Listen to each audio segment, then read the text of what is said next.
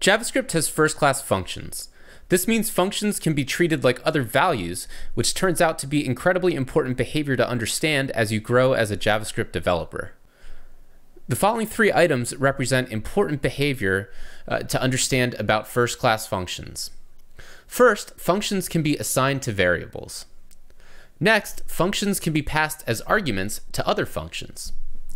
Finally, functions can be returned from other functions. Let's go through each of these bullet points and try to understand uh, how these can be used in some pretty basic examples. First, let's assign functions to variables. We can say const say hello equals an arrow function that simply returns the text string hello. And just to show this working, we can say console log say hello and call the function. And if we run this in our console, sure enough, we see that hello is output. So what we're doing here is we've created an anonymous function and we are assigning it to our variable say hello. So this is pretty cool, but uh, potentially something you already knew. So now let's go on to kind of some more interesting cases. Next, we'll talk about passing functions as arguments to other functions. Let's say we want a new function that can say hello to a particular person. Let's create a function called say hello to person. In this function, we are going to take a greeter function as an argument as well as a person string.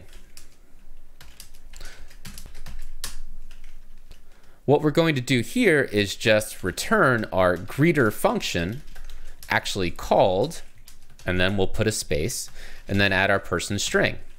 Let's see this in action. We can console log, say hello to person, we can pass our say hello variable that refers to this function as the first parameter. And then we can pass Jack, the string, as a second parameter. We run this in our console and we say, hello, Jack. So this is interesting and kind of powerful. We are now passing the reference to a function to this say hello to person function, and then we can call that function within this other function. Pretty cool. Let's go on to our final example. Uh, functions can be returned from other functions. So perhaps we have our say hello to person function, but we're not quite happy with that because we want to be flexible. We want to be able to say hi to a person, or we want to be able to say howdy to a person. Now what we're going to do is create a greeter maker. So we can say const greeter maker, and we will take a greeting string as an argument and we will return a new arrow function. So this is where we are basically returning a function from a function. We can return greeting plus a space plus person. So this might seem a little confusing, but we can see it in action. We can say const say hi to person equals greeter maker and we can pass hi. So what's going to happen is we pass hi to our greeter maker and we get a function back that only needs a person and it's going to know that we just want to say hi to that person. Let's see this in action. Say hi to person and we are going to say hi to Jane. And of course we should console log this. And if we run that, sure enough, we say hi to Jane.